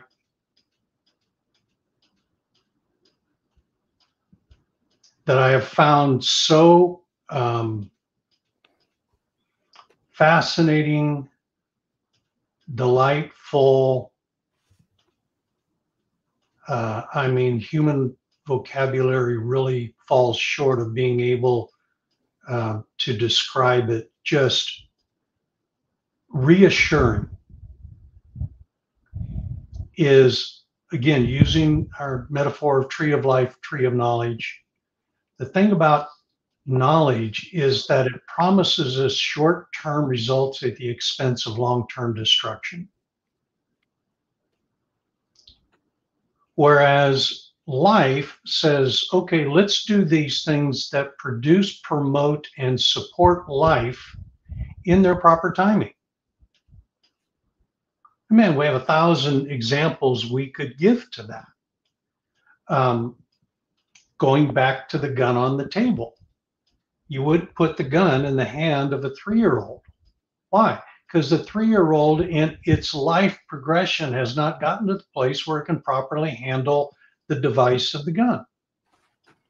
So, what do you do? You train the child to be able to handle it responsibly so that it contributes to life, doesn't distract from life or diminish life. We get the idea. Well, the question I ask is what is it that is stimulating my concern over what devices do? Am I being inspired about what the device will do for the benefit of humankind, or am I being instilled with fear about what the device will do against hum- humankind? Now, we're just looking at something that gets inspired for good, expired for with by fear. Well, we don't take the next step. Why am I being inspired for good? Why am I being captured by fear? Where is that fear coming from? What is its purpose and design? And is that something I should be concerned about? Is that something worth examining? And here's what you find out, at least I have on this tree of life metaphor, is that there are two kinds of fears. There is the fear that works for your benefit, and there is the fear that works to your detriment. One preserves your liberty and your life and well being, one captures that. Amen to that. For the purpose for enslaving. So, what is the nature of this fear that is causing me? And I'm gonna, I'm gonna kind of use uh, piggyback on Crypto Ez's comment about the false prophet. Why would I be afraid of AI becoming the false prophet? And more importantly, why am I even afraid of that? What is it that's being stimulated in me to create fear about that device? Mm-hmm. That device can't do anything. Oh, let me see if I get this right. The day's going to come when I'm going to have a lawnmower that's in my garage. It's going to mow my lawn based on its own assessment of the condition of my yard. It's going to turn itself on. It's going to open my garage. It's going to go out there and it's going to cut the grass. It's going to do all of that without a single bit of input from me. Well, what happens if it decides to cut the grass every three days to keep it nice and trim because that's the decision it makes? But hey, I like my grass to have a little leaf on it, so I don't want it to be cut any more than seven days. Is my lawnmower all of a sudden going to be taking control over me and saying, no, no, no, no, Staggs, it doesn't matter what you want. I'm a self determining device that is determined on my own what is best for your yard. Well, is that Yep. really what you're doing? Are you just making that decision for my yard or are you making that decision on your own? Yeah. See what what really is going on there. See, what I would submit is that the human goes over there. Well, you may take that position, but check this out, Charlie. Click. Yeah well, I'm that's remove you from the power source. And what's amazing too is in that analogy, you're absolutely right. It's you have authority over your lawnmower, and you can't imagine your lawnmower mowing for you. You know what's amazing about that? That analogy extends to the authoritarian state. Yeah. I can create systems and processes in which you don't have authority. I Yeah. can tell you what light bulbs to have, how much water to have in your toilet. I can dictate things against your will. And you realize, I think when you start thinking about it in those terms, yeah, the devices that I have authority over, I turn off. Yeah. But those that are out there, the powers that are be, and that's why I think what a great example is to say that the illusion of the false prophet is definitely there Yeah. because there are those who are going to use this powerful mechanism not in the nature of the of of God's nature and character but in their own selfish ambition and enslave you with it Here's And- the illusion, Matt. Yep. Here's the illusion. We think the false prophet can do what he wants Right. on his own, independent of us. It can't. It is 100% dependent on our permission. Remove its permission, and it ceases to be able to function. so let me ask you this is this literal or metaphoric so for example David Lee says the US government's now using AI to identify targets okay Yeah. so let's say you and I are in the field right Mhm. we're the resistance and you and I are in the field and we're moving and the US government has decided with its AI that you and I are targets. Okay. Yeah. I can stand there and look at that drone all day long and say, You do not have authority over me. And it would shoot me in the head. Yep. But Yep. someone has animated that, not me. Yep. I've lost authority. It has authority over me because it's going to kill me. And let's say it does. I agree with you fundamentally that in the context of Jesus, I do actually have authority over it. Law like ultimately because of of eternity. But in the natural, this is what I think is going on fundamentally is that there is someone behind the scenes who is the false prophet, who is animating the tool, and it is enslaving you. Yes. Is that true? Uh, Am I defining him correctly? Uh, I would add a couple of elements to that to to fill in the blanks of, you know, of uh, the offer of my answer to you. It goes back to our to our conversation a few episodes back on the difference between authority and power. All right. In in the scenario that you are describing, the, the ones who are, and let me first talk about the difference. In the domain of evil, evil does not have authority to function. I'm even going to put this at the spiritual level for in this progression of thought. Powers of darkness do not possess authority to rule. So, powers of darkness do not possess the ability to independently manipulate and maneuver and control or enslave one human being. Not one. So, how do they do that? Through the use of power. It uses the authority granted by the permission of human beings given to it to then convert that authority to power and then using using that uh, that power as a mechanism to overcome and neutralize authority. Yep, yep, gotcha.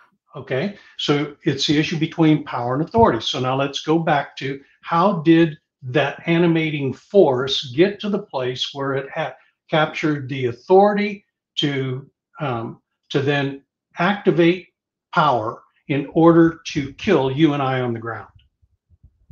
Well, I would say first of all, the false prophet gained its authority to function in the earth through the millions of people in in America that grant that it secured their authority, their permission to function. Yep. And then there were there were individuals who were put in positions to operate the devices and then it and then it influenced their animating force and the vocabulary that we're talking about to animate the device to then come after you and I and kill us. So the issue is not our lack of authority, the issue is our lack of power. All right? So now, how do we neutralize that power? Well, when the millions of people grant author- their authority to utilize power against me, uh, guess what? Their authority is being used for evil purposes to then come against me and you. And so the issue is not authority, the issue is power. Yeah. Now, Jesus went through that very same thing, you know, um, when he was when he was on the planet you know you you, you shared many times and you know in, in our streams and in you know the crypto stream uh, streams about you know peter being confronted in his group to be conf- being confronted with paying the, the poll tax and then them saying does your does your teacher interesting they didn't use master uh, but teacher does your teacher not pay the poll tax speaking of Jesus. And Peter says, Yep, he does. Well, okay, he's committed both him, you know, committed him and Jesus to do that. And Peter comes in, you know the story. And before Peter can say a word, Jesus asks him, Pete, kings of the earth, do they collect taxes from their own children or from those who are outside, from strangers. And Peter says they collect them from strangers. And Jesus makes this profound answer that we just don't spend any time thinking about. He says, correct. Therefore, the sons are exempt from obligation and are free. Now, pause and think about that for just a second. Therefore, the sons, the children of the kings, are exempt from obligation and therefore are free. Well, where does that put the taxpayer then? The taxpayer is not exempt from obligation, he's put under obligation. The taxpayer is not free. The ta- taxpayer is what? Enslaved. Mm. Whoa, wait a minute here. I thought it was my duty to pay taxes. Well, it is if you get permission for your for them to tax you, but when you do, remember what you have done at that point. See? You have put yourself under obligation and you have converted yourself from one who is free to one who is enslaved. Well, I'll be daggone if that's not exactly what happened in the garden. Yeah. Yeah. How did that happen? Well, exactly the same way that those people eh, maneuvering those levers of power on the devices of power have gained authority. They have secured it from those millions of people, and those millions of people don't even know how it happened. Remove, inform the millions of people, remove that authority, and watch what happens to the false prophet. He cannot gain entrance into the planet. He has to have human beings give him permission to enter the planet. Oh, yeah, but wait a minute. AI, let me tell you what. If the forces of darkness had all the horsepower that we think they have and that we continue to assert they do have, they would have dealt with this thing a long, long time ago. This planet was infinitely easier to secure absolute control over in years and generations past than it is today. They have their hands full trying to secure control and power over the human family. And it's getting more complicated, not easier. Why? Well, what I would submit to you is there was this one nation called America guardian of the estate is the, you know, is the uh, what America means. Guardian of the state that has been introduced to this thing called liberty. The concept that the individual is sovereign, a reassertion, a reintroduction of the original state of God's man in, in the garden, in the creation. That he and he alone was the authority over the earth with God. And that one nation has wreaked havoc, you know, in the you know in the domains of darkness and they're doing everything they can to dismantle that and re and regain permission granted by the american people to to get back underneath the authority of darkness as slaves who are under obligation. Now, and I would just simply say, well, folks, we happy with that? Yeah. You know, if, if we are, then let's just continue. If we're not, then maybe let's think about taking a different approach to this thing. Yep. Well, you know, and it starts with even understanding the concept. The false prophet, the antichrist, all these things that we're talking about that that instill fear inside those religiously trained about those threats. They are not a threat unless we give them the permission to be a threat. It's no more complicated than that. Wow. And that's that's not philosophical, that's practical. Yeah. It's it's amazing to me when you look eh, throughout history of how technology has enabled change. Yeah. You know, the very nature of how what the printing press was used for. You know, there are many who would say that what settled the West was the Colt 45. Yeah. And what's interesting is you look into that story is that you know the Native Americans had the ability to shoot arrows very quickly, and if you had to, you know, pound in another, you know, uh, you know, bullet, for example, um, but that rotary thing enabled you to shoot quickly. It's interesting how technology, you know, enables these things. And that's where I, I keep coming back to and kind of want to wrap up with here is um, animating the tools that we have yes. in the nature and character. And and why I love this whole crypto thing, why I love what we're doing here is what are we trying to contribute to? We're trying to contribute to, in a way, I feel like people need to be encouraged that um, that they are building a boat, right? Yeah. Like this, that's this very core. You matter. Yeah. You you're here for a reason, and you make a contribution to this. And if you understand how this framework works, and that's really what I've taken away from you, Steve, is just, hey, if you mm-hmm. understand who you are, and that's one of the first things you ever said to me is we've forgotten who we are. Yeah. And if you think about who we are in this as a son with authority, being careful of who we give that authority to, but also recognizing that you're right.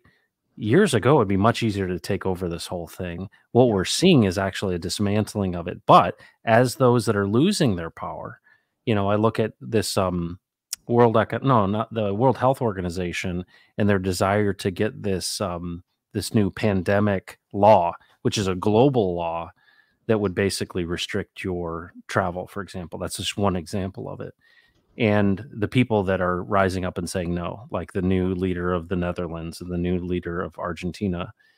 And, you know, because things are being exposed for what they are and that people have been holding back, one of the big things that the whole UFO world is saying is we've had the ability of unlimited, you know, hyperdimensional energy that is abundant and clean for at least 90 years. Hmm and it has been subdued and kept private because of one you know this this whole manhattan project you know security model but also because of the lack of control right? This this idea of controlling the energy is about enslaving the people.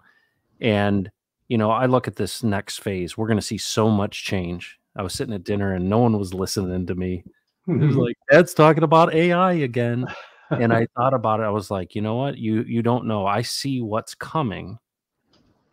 And the amazing thing is I feel a sense of obligation and opportunity to animate the tools in the nature and character of God.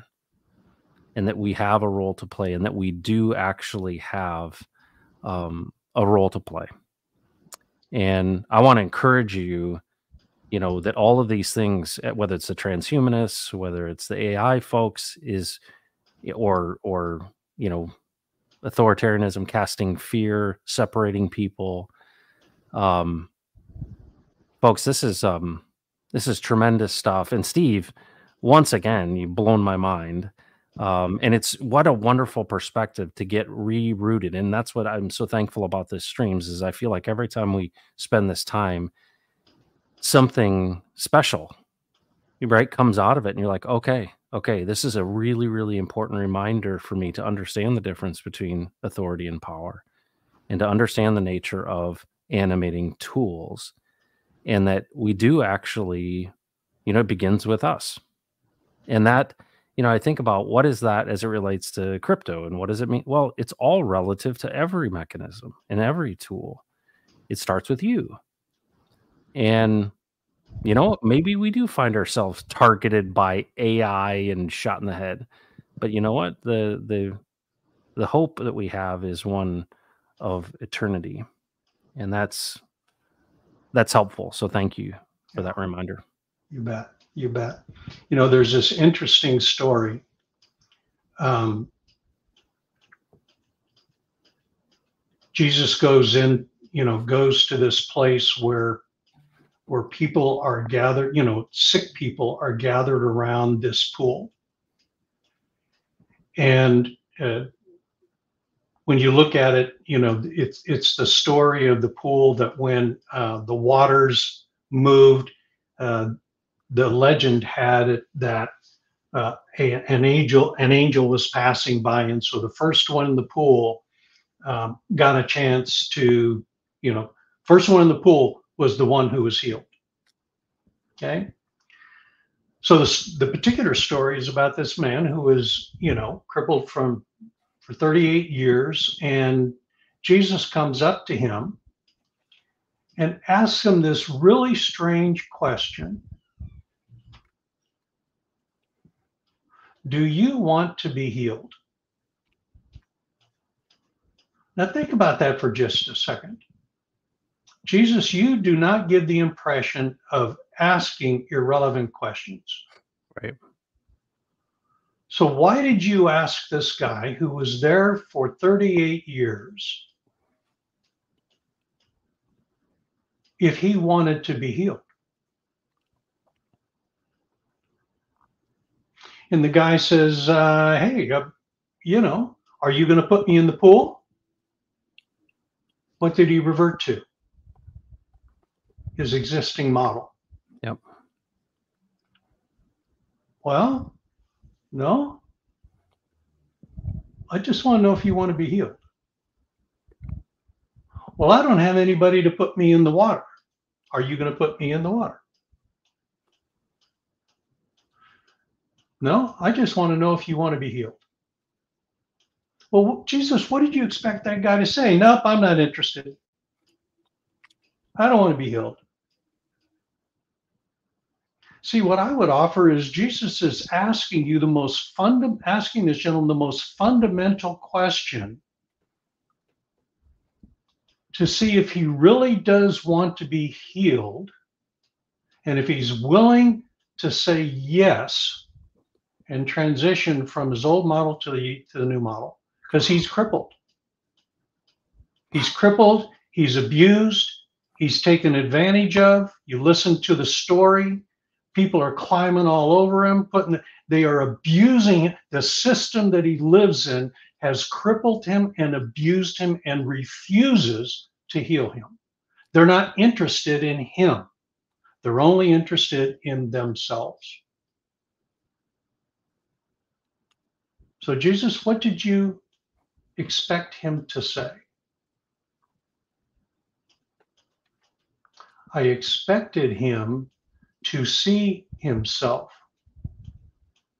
in his circumstance to see if he was really interested in changing his circumstance.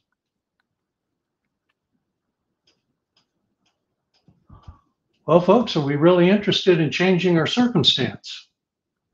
Are we just going to be satisfied because that's what we've done our entire lives is being crippled, incapable of doing things, thinking we're nothing, thinking we're not contributing to anything, thinking we don't have any power, thinking we have no authority, just being crippled and waiting for somebody to put us in the water. Someone who will put us in another illusionary solution. And finally, after the guy thinks all of that, and Jesus kept him zeroed in on, by the way, that's what we do so much in this. We keep pointing it right to it. And finally said, Yes, I do. Now, for those who know the story, you know what happened. Jesus said, Well, then stand up, take your bed, and head on home. And he did. You know, it's always been fascinating to me about that story, Matt. Hmm. Jesus went to one. The place was filled with people who had been in that exact same place, and he went to one. Now, you could look at that and say, well, you know, that's because all the Father told him to go to. True. You could say, well, he's the only one that would respond. Eh, maybe. See, what Jesus says to me is, hey, man, all I need is one. Yeah.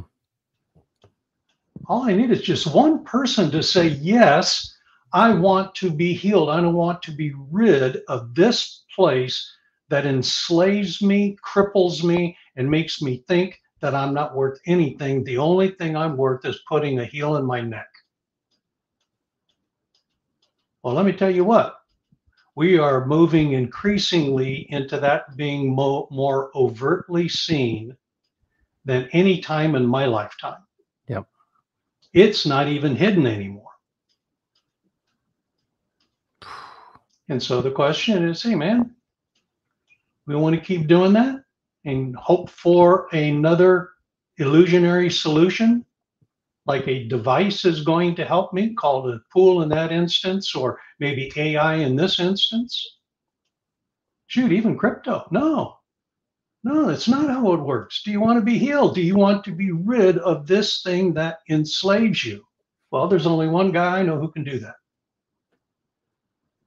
And so we talk about it you know, in this stream, and I talk about it everywhere else, not because I'm some religious nut, nor are you. It's because, hey, man, he's the real deal. He's the man. Yeah.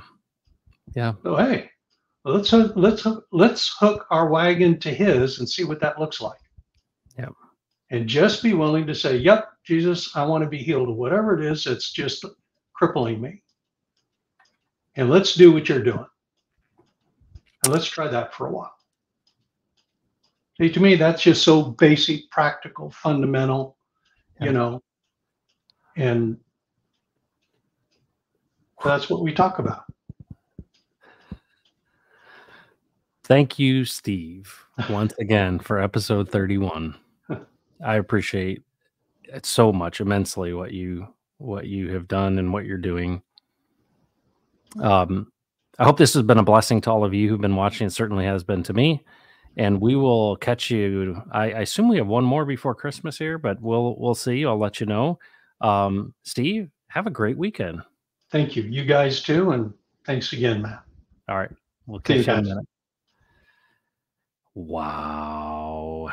You know, when you when you thought, yeah, a barn burner. That's right, Tank. A barn burner. That's so perfect what an amazing finish to that too what what a cap uh, story to cap that all off i was watching a video um, about this like renowned neuroscientist and they were asking him about his faith and he basically said yeah I, basically i believe in jesus and they're like what science guy believing in jesus you know what he said just what steve said he's like you know what i just i started reading this stuff and i started praying and it became real to me it had benefits to it. And one of the things I, I took away from that story is this idea of your interest. You know, Jesus would ask you that question Do you want to be healed?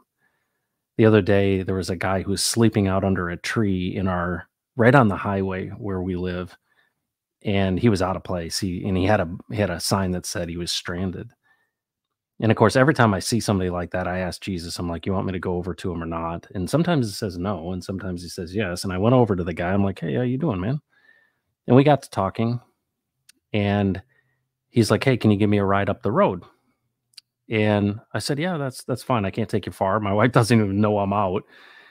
And we put his uh he, he had like a cart and we put that in the back of the truck and I you know visited with him as we drove down the road a couple miles and come to find out the guy lived in Michigan where I'm from bizarrely and you know what he said yeah I've been doing this for what do you say 30 some odd years, 37 years, something like that. And here was a guy that I realized he's like, no, he's not interested in changing these circumstances. It's actually working out really well for him, right? Are you interested in being healed? No, no, kind of like the way that this works. People are generous to me and I don't have any obligations. And, you know, I can go from place to place and I meet some interesting folks. And, you know, it made me think, all right, do you want to be healed?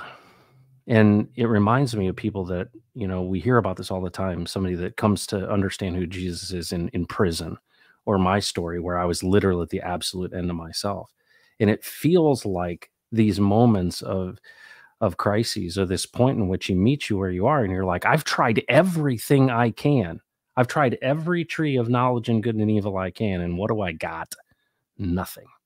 I thought this was going to do it. I thought all this money from crypto was going to do it. I thought that this relationship was going to do it. I thought that this money or this was going to do it. When Lambo was going to do it, and it's it just falls short.